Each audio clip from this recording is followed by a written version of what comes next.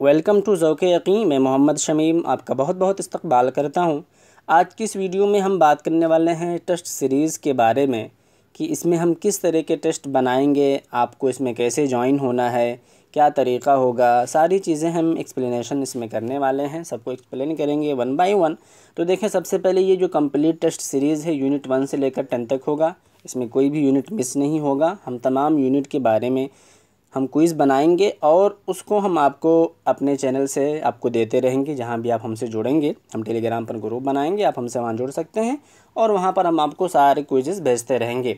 और जब सारे क्विज़ हो जाएँगे तो हम हज़ार हज़ार पाँच पाँच सौ करके इसका इकट्ठा एक सेट भी बनाएँगे, जिसमें आप उसको कर सकेंगे। एक बैठक में भी एक यूनिट दो दो यूनिट वो कंप्लीट हो जाएगा आपका। तो ये क्विज़ होगा U G C NET JRF JNU M A J N JNU P H D Arabic तो यू जी सी नेट की जो तैयारी कर रहे हैं, वो ज़रूर इसको ज्वाइन करें। सेट वाले भी ज्वाइन कर सकते हैं। जो स्टेट का होता है, इसके अलावा जो जे एम की तैयारी कर रहे हैं, या जामिया की, या अलीगढ़ की, वो एमए वाले इसको ज्वाइन कर सकते हैं। पीएचडी जो जे की कर रहे हैं, अलीगढ़ की डीयू की, जामिया की, वो भी इसको ज्वाइन कर सकते हैं। इसमें बहुत ज़्यादा फ़ायदा होने वाला है। अब जो मैं क्विज़ बनाने वाला हूँ, वो हसन जयाद की किताब होगी, हन्ना फ़ाखूरी की होगी, शौक़ी ज़ैफ़ की होगी जुज जैदान की उमर फ़र्रुख और विकीपीडिया को मैं ज़रूर रेफ़र करूँगा क्योंकि वहाँ से भी क्वेश्चंस आते हैं। तो इस क्विज़ को कर लेने के बाद इन तमाम किताबों से तमाम राइटर ऐसा नहीं कि मैं किसी राइटर के यहाँ से बनाया किसी, मैं तमाम राइटर को तमाम किताबों से बनाऊँगा, जिसमें मुझे कोई डिफरेंट या कोई यूनिक पॉइंट नज़र आएगा तो मैं वो भी मेंशन करूँगा। ये पाँच हज़ार क्विज़ होंगे, पाँच हज़ार क्विज़ होंगे जो आपको मिलेंगे इसमें, इस सीरीज़ के ज़रिए से। और ये तमाम यूनिट के बारे में होगा और तमाम किताबों से होगा। जिससे आपको बहुत ज़्यादा आसानी होगी रिवाइज़ करने में। अब यहाँ पे कुछ चीज़ जो थोड़ी सी मुबहम रह गई थी या जो थोड़ी सी पेचीदा रह गई थी, मैं वो बता देता हूँ। जो मैंने फ़ीस लगा रखा है, यहाँ पे जो फ़ीस मैंने लगाया है जे के जो स्टूडेंट मेरा क्रेश कोर्स ले रखे हैं, उनके लिए दो सौ रुपये है, क्योंकि उन्हें मैं जो क्रेश कोर्स चला रहा हूँ, उसमें तो मैं क्विज़ देता हूँ। उसके अलावा अगर ये इसका भी फ़ायदा उठाना चाहते हैं तो इसको ये ज्वाइन कर लेंगे तो उनके लिए डिस्काउंट के साथ दो सौ रुपया मैंने लगाया है। और ये नॉन पैड मतलब कि एन पी मतलब नॉन पैड हैं, जो जेआरएफ वाले स्टूडेंट हैं, जो मेरे क्रेश कोर्स में नहीं हैं, वो सिर्फ़ टेस्ट सीरीज़ लेना चाहते हैं तो उनको तीन सौ। तो जो क्रेश कोर्स और ये टेस्ट सीरीज़ दोनों लेना चाहते हैं, उनके लिए दो सौ रुपये है, क्योंकि उन्होंने अलग से सात सौ रुपये जमा कर दिए जो मेरे क्रेश कोर्स की फ़ीस है U G C NET J की।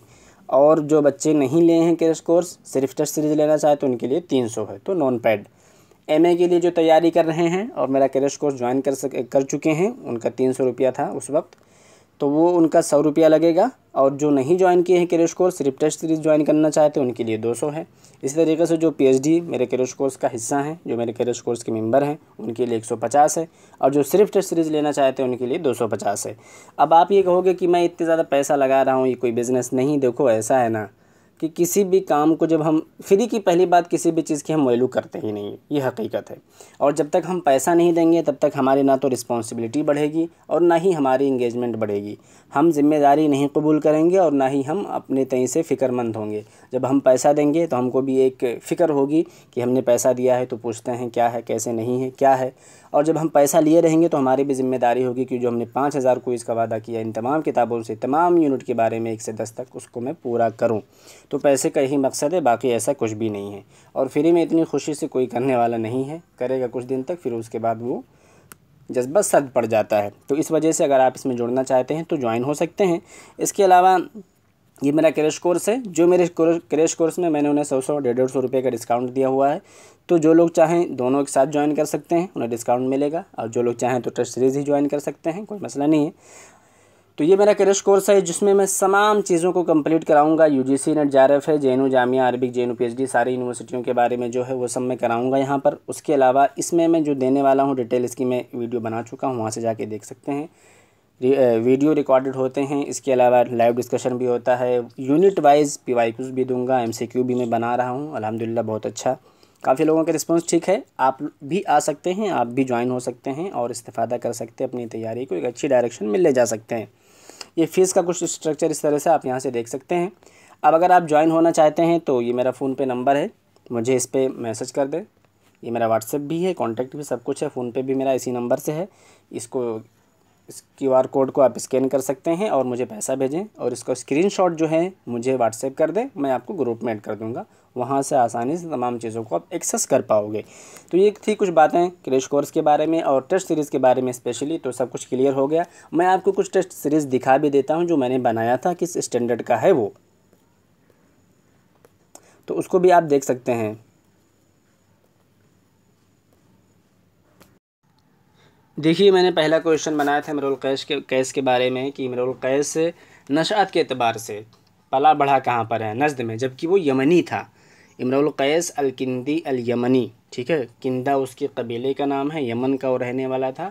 नजद में पढ़ा बड़ा था, नशा इमरुल कैश नशा इमरुल कैस नजदीन व इनकान यमनीन दूसरा क्वेश्चन है, मन हुआ ग़ुलामकतील मिन बैन असहाबिलमक़ात ये तरफ़ा बिन आब्द है, जो कि बहुत कम उम्र में कत्ल कर दिया गया था। मल्लक़त हारिस बिन हल्जा यशकुरी फ़ी बहर खफ़ीफ़ है। मैंने बताया था, है और खे का जो ताल्लुक़ वो याद कर सकते हैं मुल्ला की वीडियो देख सकते हैं। मन काल हाति मन असमन्नास फ़क़दालमरूआ बिन उर्द अब्दुलमलिक बिन मरवान। कैन बनकैस मिन हैसल यमनियन है, मैं बता चुका हूँ। ये क्वेश्चन है। इसके अलावा ये दूसरा क्वेश्चन, ये तमाम क्वेश्चन की वीडियो भी मेरे चैनल पर मौजूद है, वहाँ से देख सकते हैं। कुछ इस तरह के क्वेश्चन से जो मैंने बनाए थे, यहाँ से आप देख सकते हैं लगतरबिया या लगतरस्मिया लिद्दौला ट्वेंटी टू, आपको पता है। शायर तुनसी वहुआ अदा जमात अबूल माता फ़िरयान शबाबी अबुलकासिम शाबी है सफ़र अयूब ये जो कसीदा है ये बदर शाकिर सैयाब का है ये देखें इससे आपको डेट ऑफ़ बर्थ बहुत अच्छे से याद होगा माता फ़ी सना one nine two two four उन्नीस सौ चौबीस में कौन इंतकाल हुआ फ़ी नफसी सना वलीदल अदीब अलकबीर वमन हुआ तो कौन पैदा हुआ कौन मरा एक ही सन में यानी एक सन से आपको दो चीज़ याद होने वाली है ठीक है तो ये मनफलूती मरे थे उन्नीस सौ चौबीस में और हन्ना मीना पैदा हुए थे। मरूफ़ रसाफ़ी बगदादी, इनके बारे में बताना है। ख़ातमतुलहब कसीदा जो लिखा गया है, वो उमर अबू रिशा के ज़रिए लिखा गया है। उसकी महबूबा का नाम क्या था? वो भी एक तरह का क्वेश्चन होता है, जो कि मैं यहाँ लिखा हूँ, नॉर्मा है, उसकी महबूबा का नाम। और इस तरीके से नज़ार क़ब्बानी के बारे में ये क्वेश्चन है।